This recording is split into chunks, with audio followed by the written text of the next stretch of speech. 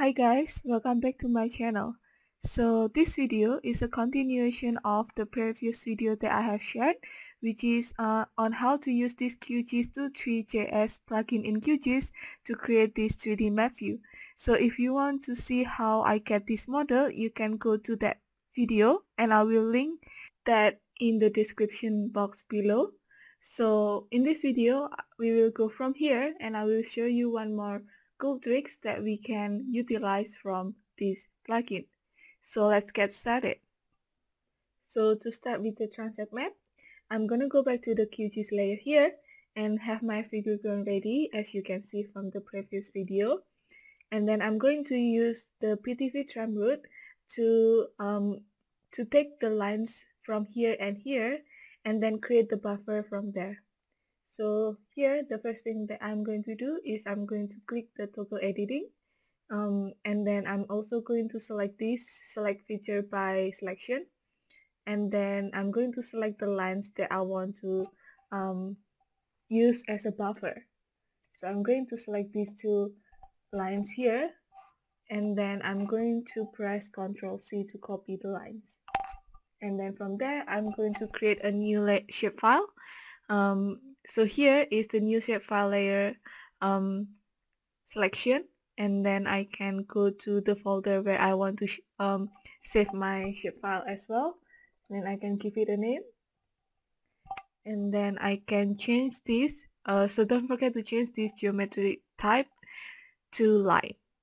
And then the projection as well I'm going to use the projection that I, ha I have here in the QGIS and then I'm going to select OK so here I have um, create a shapefile in the line type and then I can again select the toggle editing and then I can press Ctrl C to paste um, the lines that we have copied from this PTV tram route layer. So if I just select this and then um, I hide that, as you can see, um, I have the new um, lines only on the lines that I want to create the buffer. So if I just select this as well, click save. Now from here, we can go to vector and then in the geoprocessing tools, um, you see this buffer selection, so select that. Um, so essentially what I'm go what I want to do here is from these two lines that I have selected, I want to create a buffer that catch the buildings up to this area. So if you can see my mouse here I'm going to create a buffer that catch these buildings from here. So essentially around two blocks each side. So here I have um, tried that. So to be able to uh, catch the two blocks of the buildings either side I would have to have a distance of two around 210 meters so this also depends on the map that you have. In my case, the distance is around here. And then if I click run, as you can see, this buffer is um, catching um, on those blocks that I want to select here. So what I'm going to do here, um, so if you see this pink buffer, essentially what I'm going to do is I'm going to select the buildings only within this buffer. So it's going to ignore all that buildings that is outside of these buffer lines.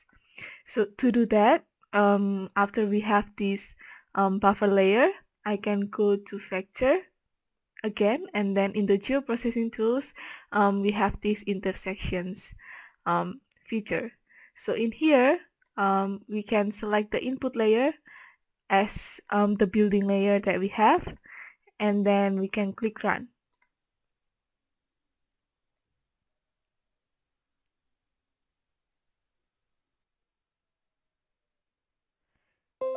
So as you can see, I have successfully um, have the intersection layer. So this process have successfully been executed. But if you see here, it has a notification that one of my geometry is invalid. So I have uh, changed the settings, but if you haven't, it won't allow you to complete this process.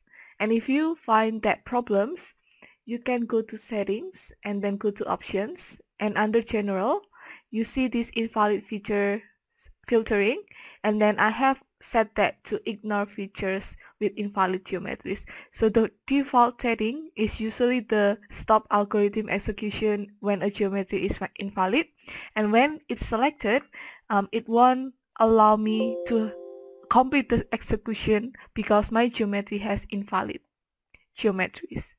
So after I change this setting then it allow me to um, finish the execution. So now if we hide the buildings, now you can see that this inter this new intersection layer is showing only the buildings within this buffer and that's exactly what I want to do with this layer.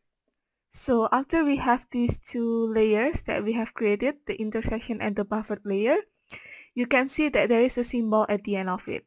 And this symbol means that these two layers is only a temporary layer. So when you close QGIS, you won't be able to open this layer again. So, and we don't want to do that. So in order to be able to still have this file when we open our QGIS, we have to make this layer as a permanent layer. To do that, we have we can right click on the layer and then we can see this option, make permanent. And then we can click here and then we can um, like the way we create the shapefile we can just have a name on it so I'll just create a buffer buffered layer here and then I can click save and then I can click OK. And then we can do the same with the intersection as well. Make permanent and then we can also give it a name.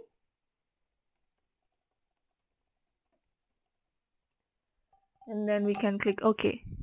So always be careful with that because in QGIS um, each layer that you have here always have to be um, linked into your computer because this QGIS is work with shapefile and if you, you don't have that shapefile saved into your folder then the next time that you open QGIS you won't be able to open that again because QGIS cannot read your file from your computer.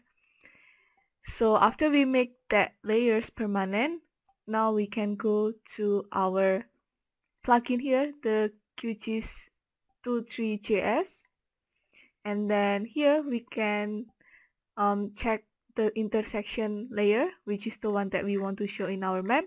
Also um, this background the, the background here um, if you have the default setting it will show like a blue white background as um, I have sh also shown in the previous video.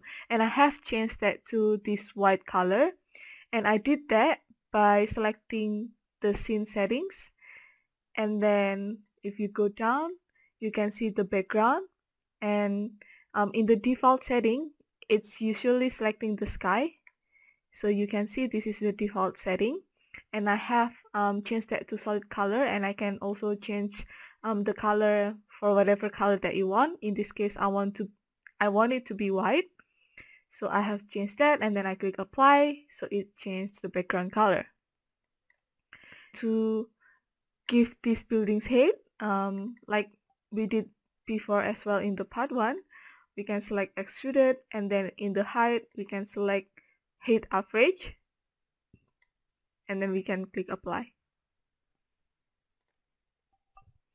So as you can see here, we have created the 3D map view for the building within the buffered line and if we show the buildings the 3D map view that we have created of the whole Melbourne of the whole CBD area and then we um, show only the buffered line. Um, it kind of created a focus of the area that you probably want to analyze. So this is one way of um, using this um, buffered line. Also another thing that I want to show you um, for this buffered line here in this um, in the color selection here it shows only one color. But you can actually uh, do something for that color because um, so in my case in the figureground file that I have here it has a land use data. So in that land use data um, I can utilize that and then and change the color of this 3D map view here based on the land use that it has. So here in the symbology, if I go to categorize, and then in the column section here I can select land use. And then if I click classify it will create all these colors based on the zone based on the land use that it has here. So in your case if you have um, figure ground from other open source map that is not from Aurin it might not have land use. So in that case you can either create a land use or you can utilize other things that it has um, from from your file from your data. You can um, use that and then you can do the same by creating this categorized symbology. So if I click apply as you can see um, here it shows the colors based on the land use that it has. So for example this color is showing the capital city zone 1 and then this color is showing the capital city zone 2 and then this red color is showing the mixed use zone. So that's how you can utilize um, the data that you have and then also by using these layer properties changing the color of that based on the data that you have in here.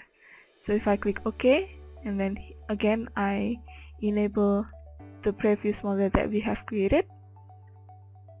Now you can see that it has um, focused down on this area but now we also have that land use feature that we can show in our diagram here. And then again I can probably select that flat line and then selecting that Google satellite. And then we can probably hide the buffered and the transect line.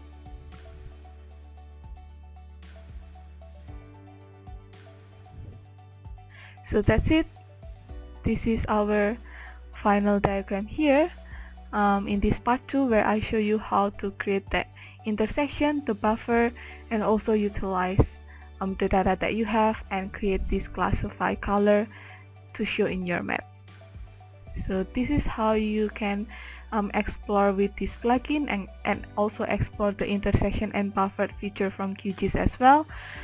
I hope that this video can help you and thank you for watching.